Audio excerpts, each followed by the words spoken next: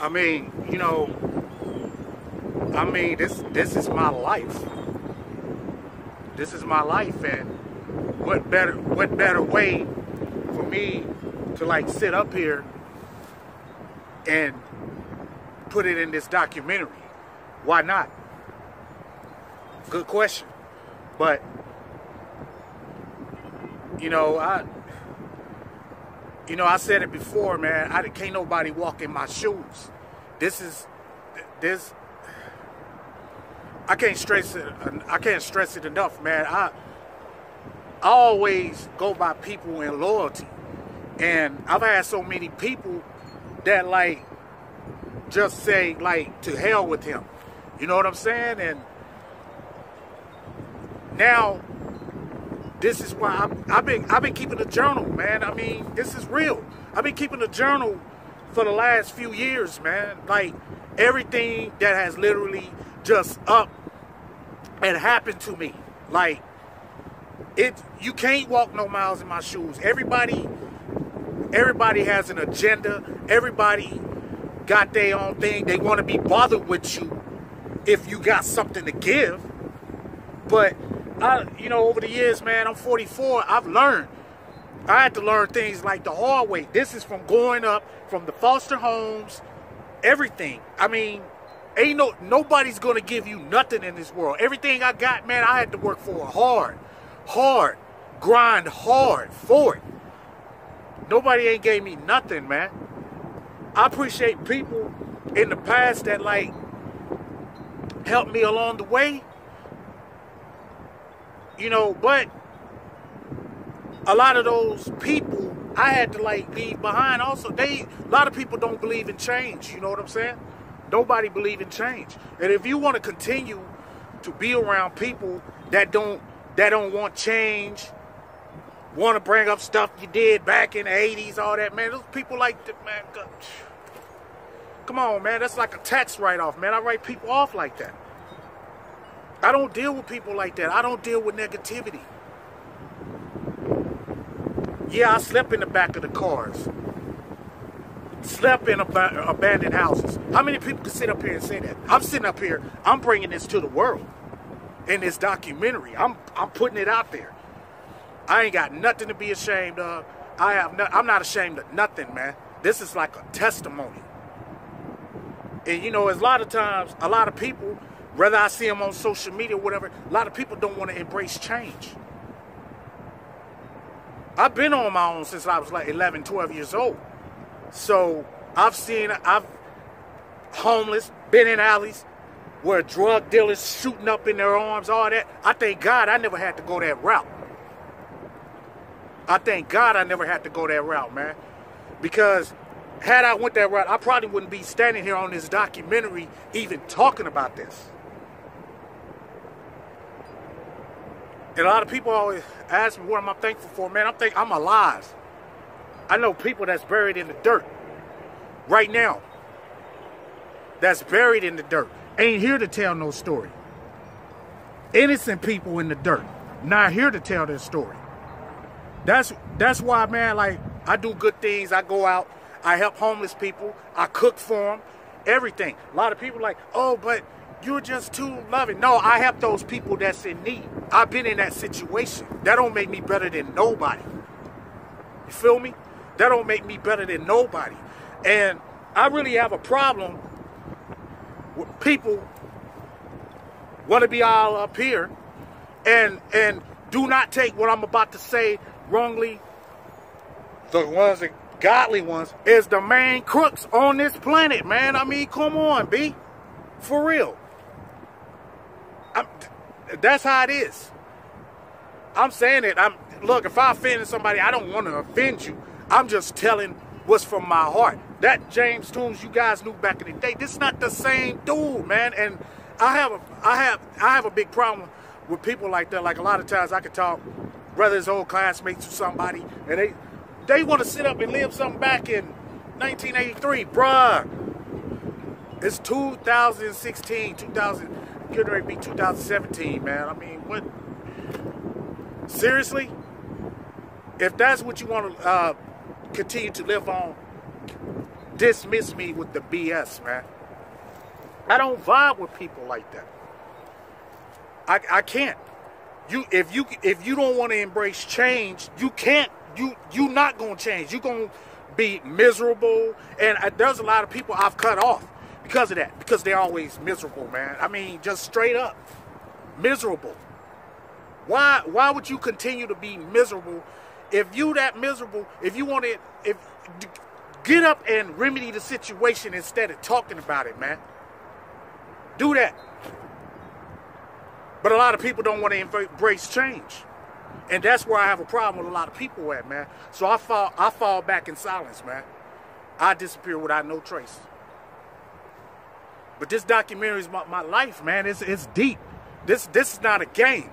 I'm I'm coming to the forefront now to see they let people know what I went through. I don't need nobody's approval on nothing now. You wanted the real me? Here it is. Now do I got your attention?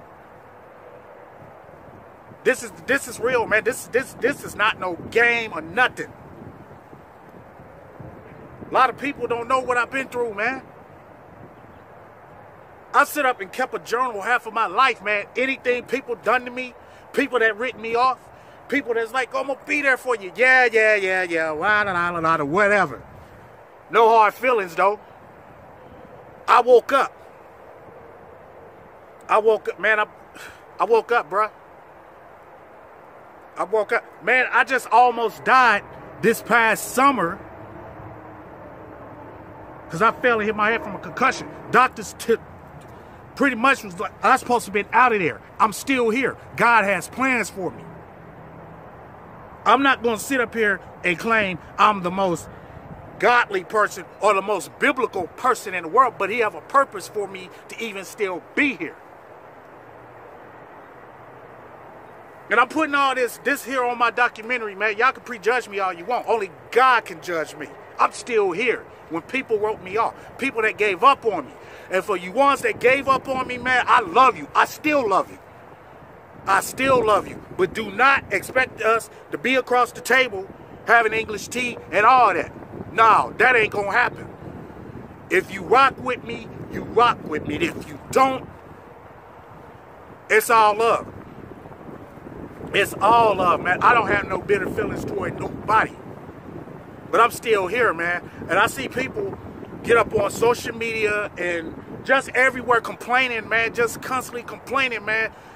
If thank God that you got a roof over your head. Thank God that you still up breathing another day. If you don't have food and stuff, there's other people out here doing worse than what you're doing. I've been one, uh, been one of those statistics. Been out here sleeping in cars, kicked out by my mama, my family. Gave up on me. I had to find my own way, man. I've been on my own from from the foster homes, everything. I've always been on my own. Period. But shout out to the people that did look out for me. There's too many of you to name. But if if if if you love me unconditionally, love me. Don't don't uh, be there for me one minute, and then you bounce and you go to the Pacific Palisades or somewhere like that, man. I mean, come on. Then, then you cheating yourself. That's why I don't put my I don't put a person can can uh, sing sing uh, sing me sweet melodies until you show me, till you show me your actions, man. You man, look, yo, yo, I I go just on your word, but that's why I've grown up, man. Just like even these last few months, man, I I've really just, Lord, I can't stress it enough, man. And I feel so good just getting all this off my chest here on this second coming documentary, man. I, you know what? Everybody got an agenda every um September 27th uh, 1982 that was that was one of the most life-changing experiences I ever had to go through and why I say that I, that date that date literally always sticks in my head, and I and a lot of times when I think of the date, September 27, 1982, I always kind of cringe.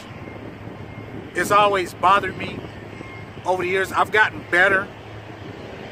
And the reason of the September 27, 1982 date is basically the date that changed my whole life. You know, you enter in one journey and then you go into another one. So, let me just give you guys a little details here on the documentary. Um, like I said, September 27, 1982 is the day that changed my life. It was a definitely a life-changing experience. So, here's here's the deal. Um, at this time, I'm in Dallas. I'm still in Dallas, as I was telling you guys earlier. Um, I'm in Dallas, and I remember about three days before before September 27th. It was around like the 24th or something. It was that Friday. I come home, and I had a best friend. It was a Hispanic guy. Uh, his name was uh, Moses, and Moses lived right down the street from me when I was living in Oak Cliff, Texas. Right out inside Dallas, but on the outskirts, what have you. And we we went to this school. Man, what was the name of that school? I think it was W.W. Bushman. Come home and I saw um God, what was that lady's name? Her name was Elaine Bennett.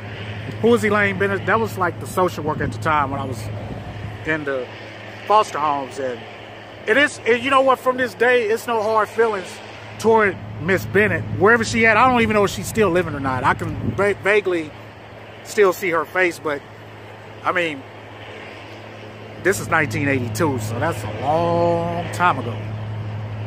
But I saw her and my foster parents talking that day. You know, I didn't think nothing. I was like, hey, hey, how you doing? You know, come in, hug my foster parents. And we all, like me and my uh, childhood friends, Moses, and um, his mom and dad had took us out to eat that night. But I remember when I came home, I came home like later that night, pretty much I knew something just did not sit right with me. And I'm like, okay, something's wrong. So I remember going to my foster parents and I'm asking them like, hey, you know, is everything okay? Did I do something? No, no, no. They, you know, had this sad look in their face, not knowing what's getting ready to happen. More on that in a minute. But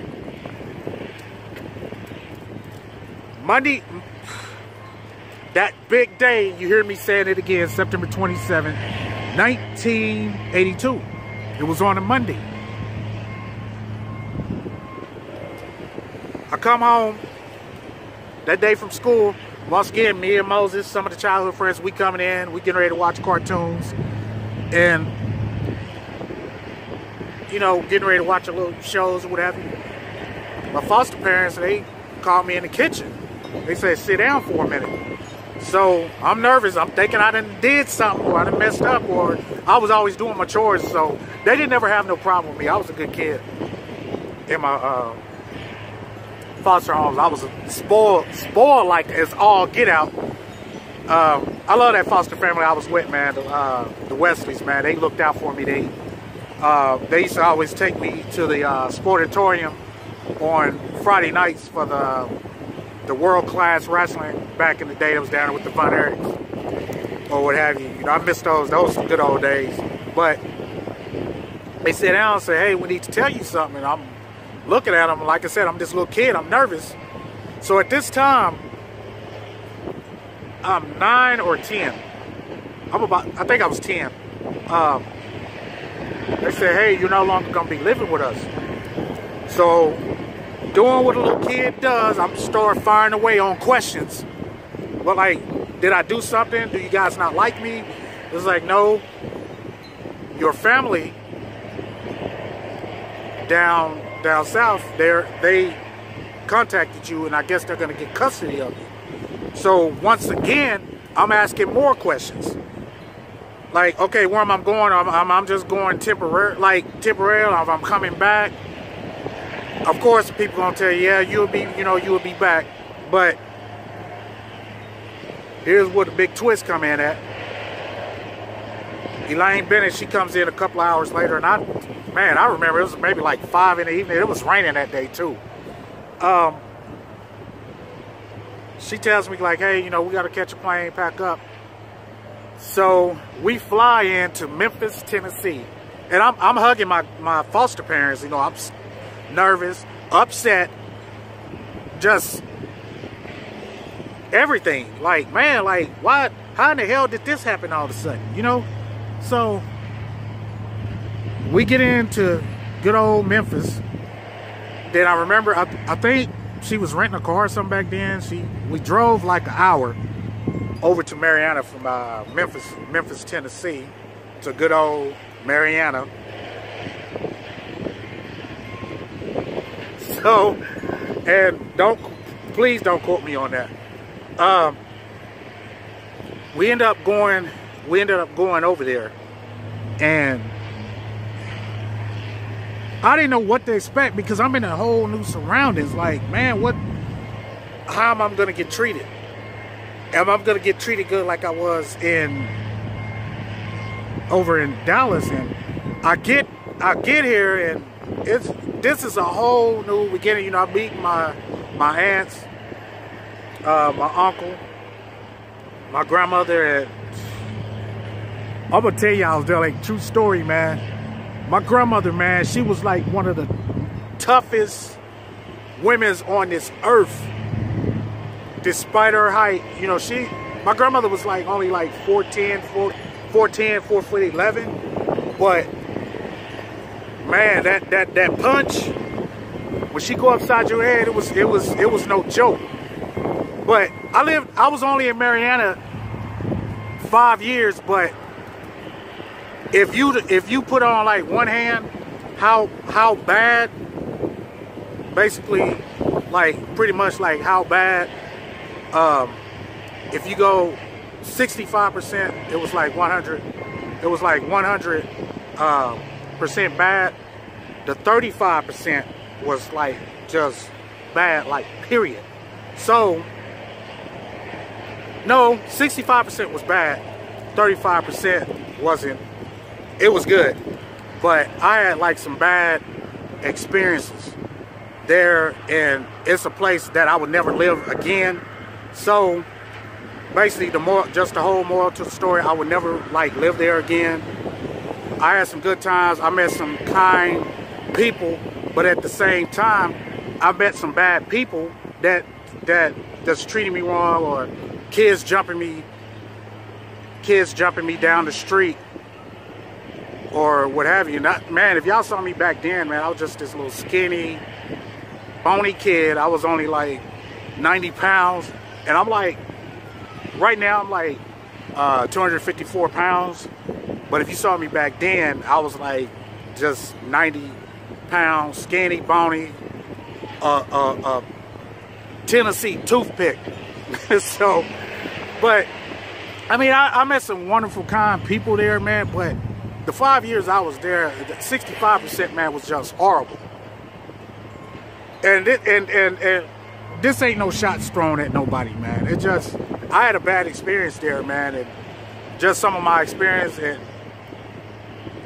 basically what, what a kid went through there, I shouldn't have went through it. Not, and I'm already coming, I'm already coming in from now Dallas I've been bouncing around foster home, foster home all my life, so I'm around my family now. And then just all this crap that you basically gotta put up with just from people, the people in the town. But like I said, man, where is there any honor to basically you bail out on me and you left me at that young age to, to fend for myself. Everybody's watching. If if you got a parent or somebody that just up and bailed out on you, just left you with nothing. How how do you how do you explain that? You can't. You're not gonna sit up here and tell me that you can be okay with it. And then you tried to get some answers, and it's like you never existed. That was a hard pill to swallow for me, for me in general. Being out here, and that's why I tell a lot of people that I come around, man, I've been on my own for so long. Just it's it's it's nothing to explain. How do any parent burn out on their child? And I you know, I never forget that that fateful day, man. I come home from school to a trailer home. To a trailer home. And you know, you I see you that morning. Hey, you know, have a good day. I'll see you this evening. Then you get home from school. You come home to an empty trailer home. You come home, no food in the refrigerator. Days at a time, you stand in a trailer by yourself, wondering when your when your mother gonna come home, and she up and burnt out on me. That hurt. That hurt. Man, that hurt big time. I still, me personally, I've never been the same after that. Because I would not sit up and, well, if I have, if I have multiple children, I would never sit out and bail out on my child. You don't, it's right is right, is wrong is wrong.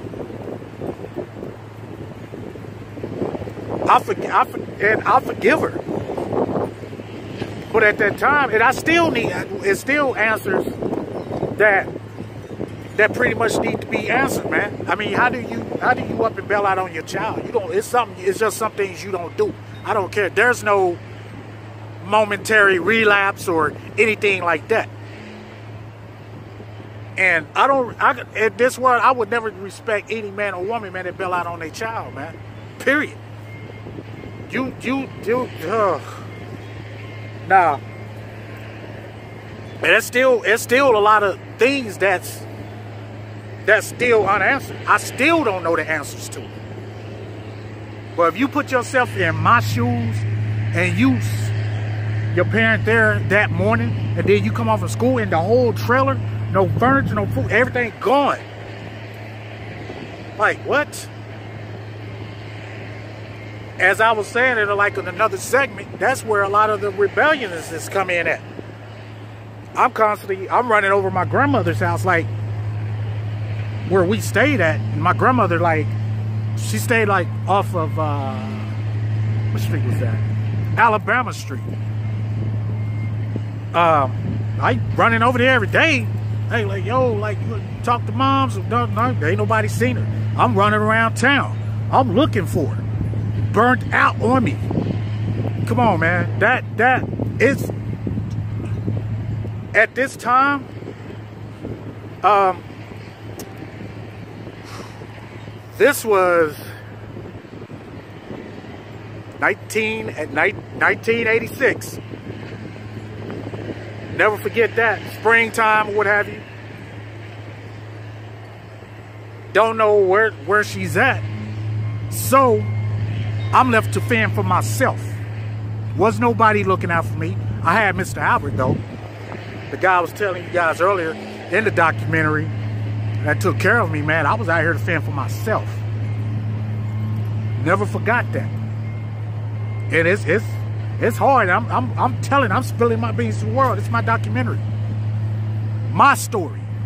I'm just keeping it real with y'all, man. Built out, built out on me. I never got over it. Today, I'm not gonna sit up here and I'm in front of this, these cameras and I'm gonna be like, you know, I, no, I, I never got over it. I'm not gonna sit up here and say I did. How can you abandon your child like that? Ain't no, ain't no answers. Ain't no excuses to that. Ain't no rules to that, man. You you abandon your child, and I'm left to fend for myself. And it was rough. That from 86 till I left from 80 to uh, 87, when I finally got up got up out of there, it, it was rough, man. I I, luckily I had Mr. Albert and some good other loving people that was looking out for me. I was cut. I started hitting them yards and stuff harder. Go to go to um, God. It was this it was this store used to call Big Star. Uh, I don't know if it's still around down there, but that was like my favorite store. It was either that or Food Giant. I go and stack up on candy bars and hustle at school selling so I can always have money in my pocket so I can eat. That's everybody, like I said, you, they get up on social media and all these places, man, complaining.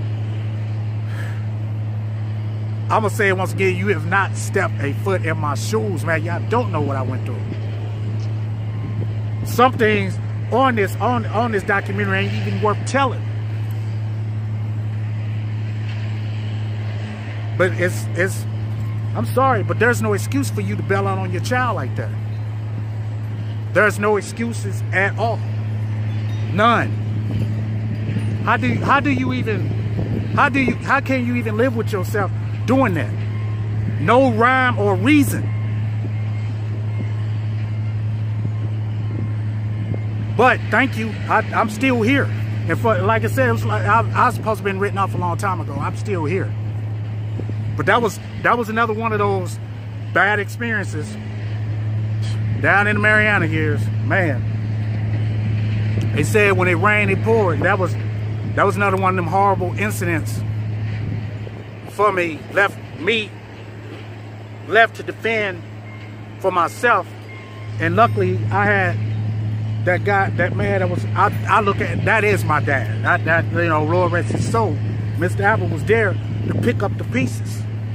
Cause I around that time I lost my mind. It's like I didn't care about nothing. It was like whatever.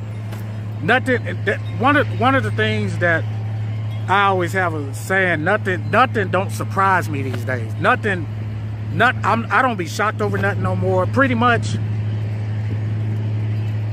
When you when you try to get explanations of something out of people these days, and that's why I say everybody got their own agenda, man. Don't nothing, nothing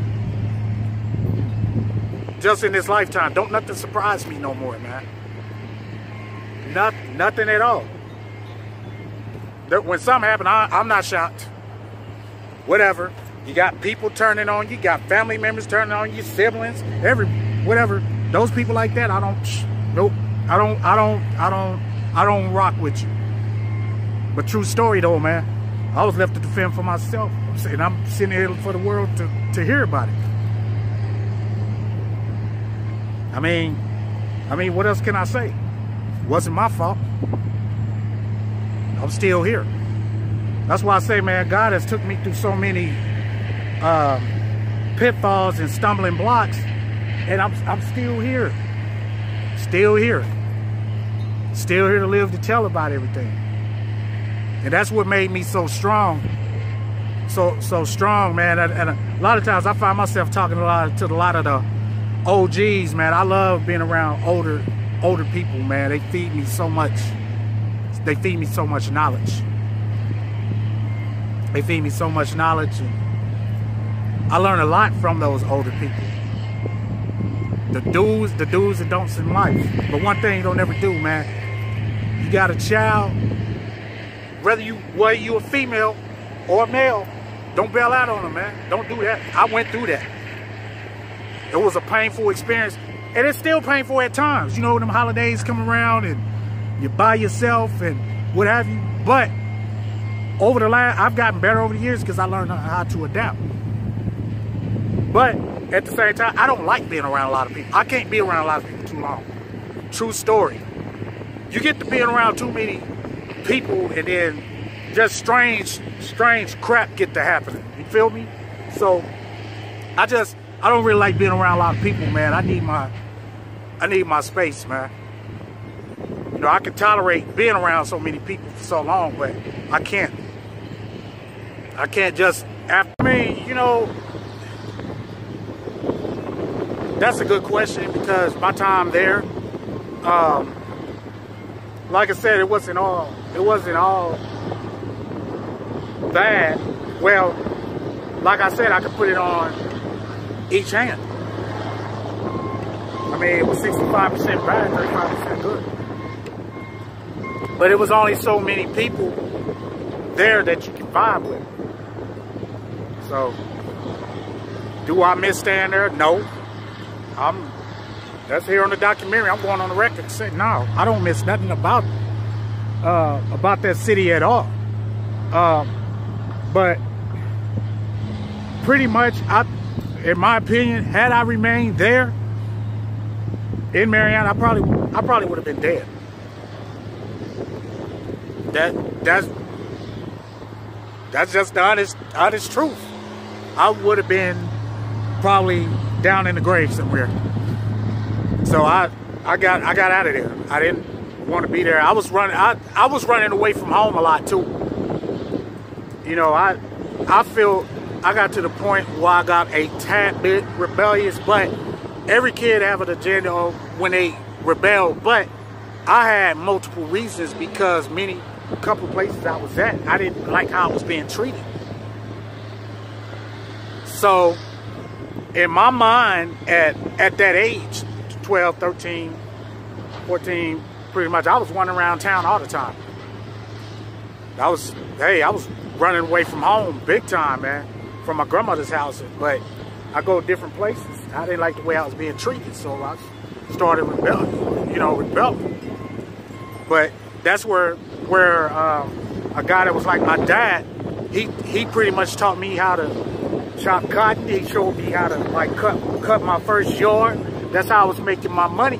So when Lord rest his soul, man, I think about him every, every time, man. Uh, a guy named Mr. Albert, Albert Walter. He took me in.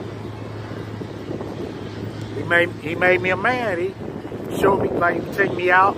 We was like in the wintertime. One of one of the favorite things I miss about um, Mr. Albert, he used to always like in the wintertime, like when fall, and everybody that's, that knows me, I love fall. I'm like a kid in a candy store, man. When fall come in, I'm a, you, man, you can't tell me anything. You can't tell me nothing. But um, when fall will come in, like we will always make pre-plans in the summers, man, Mr. Albert. Like I said, man, this guy was wonderful. He was kind. He treated me like one of his own. He took he took me in, and that and he was just like my dad, and I, I miss him so much. Um, he died a year after. Um, he died a year after I left Marianna. He died the next year over in 1988, and I remember getting that call. I was out of town. I remember getting that call, man. I cried weeks. But um, like I said, he, we were pre-playing like in the summer when fall getting ready, like when September hit, that's when we start. We used to go out and trap, and not not selling drugs for the for the ones for the ones. Let me let me rephrase that. When I say we would go out and trap, it's like we would trap like rabbit, uh, squirrels. We used to get all that. We would go out early Saturday mornings. We'd go in the countryside. We would trap, lay out these traps for like rabbit and things. And then what we would do, we would sell them. He showed me how to do all that. And I was, but and a lot of my classmates that are watching this, and they remember the days I used to come to school and uh, I was a young 13, 14 year old, but I got like 250 $260 in my pocket. $300 in my pocket at one time. That that was from selling candy bars and you know, cutting yards, and I used to always save up my money. I would never, I would never spend my money. I would just save. I put, kept putting money up or hide it or what have you. I always keep my little money for little zoom zooms and wham whams or what have you. But Mr. Albert, he just showed me like trapping, and we trapped like rabbit, and, uh, raccoon or what have you. A lot of people eat that, ate that, and you know he showed me how to clean everything we was we was selling. So that was that was like my um, that was like my prelude to being a, a, young entrepreneur. And then like me going around cutting yards, man, I I couldn't wait. He, he, you know, I go to his house, spend the night, and he's like, hey, you know, we got like eight or nine yards to cut today. Cool. I was with it. I, I man, I couldn't wait. So I mean, those are some of the good memories I have, and you hear me, you know, talking about him a lot because he was really like a father figure that showed me the ropes, uh, how to become my own man, man, or not having to depend on nobody. And th those are some of the, I mean, those are some of the good memories I do have down in Marianna. you know, the five years I was there. Um, he, I mean, man, he looked out for me. He, he took good care of me, man. He made sure I was okay. But, you know, when I moved away, and then, oh man, I can't remember the lady that called me. Uh, um, down in Marianna, he used to stay like in this, he had a house in this alley down this gravel road, and I couldn't remember what what the name of the alley was, but it was a lady that stayed next door to him. And at one time, I, um, I don't know if they have a hospital there no more, but I remember Marianna had a, um, they had a hospital called Lee County Memorial, and the lady that stayed next door to him used to always take care of him, care of him. And I remember she wrote me. I came in from school. Uh, she wrote me like he passed away. Man, I fell all out on the floor. I bawled out. I called her, and she told me what happened and it was weird. I was talking to him like three days before. So that's just another, that's just another one of them chapters in my life, man. Like, can't forget. But, you know, I, I always salute Mr. Albert because he, he showed me the ropes on a lot of stuff and like how to be independent and not, and basically not depend on nobody. So, yeah, I, you know, I never forget him. I love him and I miss him. You know what I'm saying? That's that's he was the father I never had. So he was a good dude. But like I said, I had some good times and some bad times in Marianna, man. And uh, and like I said, it all it all goes back to that date, September 27, 1982. So I just like, man, what what I had happen had I never that day went that went to that direction, what where would I be at now? Would I still be alive? This little stuff I question myself all the time about, but that was a life-changing experience, man. But I literally I hated it there. I hated it because I didn't really I never wanted to go I never wanted to go there, but the five years I was there, that was like one of the worst experiences ever. And it's, it's, a testimony. I, I hated it there. I, I, I would, if I was down to my last leg, that's I would never live there. I would never go there to to live again. I, I couldn't do it. I couldn't do it. I, and you know, I'll go and visit. Um, last time I was I was even there was like 2000, January of 2003. That was the last time I was there. But I would never live there. It's not it's not there for me. And I me personally, I couldn't make it there. I wouldn't. No, it just it just wouldn't. It wouldn't. It just would not. Just basically would not work. It would not work out. Period. So, but I met some good kind of people, man. You know who you are, man. I ain't got to sit up and shout out a lot of names, man. But there's some good people I did meet down there. But hey, that comes with the territory made me to the person I am today, man. I mean, I don't have no regrets living there. I do, but I don't as I get older. As, you know, if I sit up and just live on the past, man, I, I'm not. I would never get ahead. So it's it's ways you can remedy situations. You know, without being controversial about it. You know what I'm saying? So you ain't got to be controversial about it. You know. So, but like I said, it was that was one of the most places I hated to live. Um, I had some good times, but majority of the time it was bad. And I don't, I don't miss it at all, man. But shout out to all the people, man, that always had rock with me there, though. They, you know who you are, and a lot of them ain't no longer with us. So, but that was just one of the tales of me coming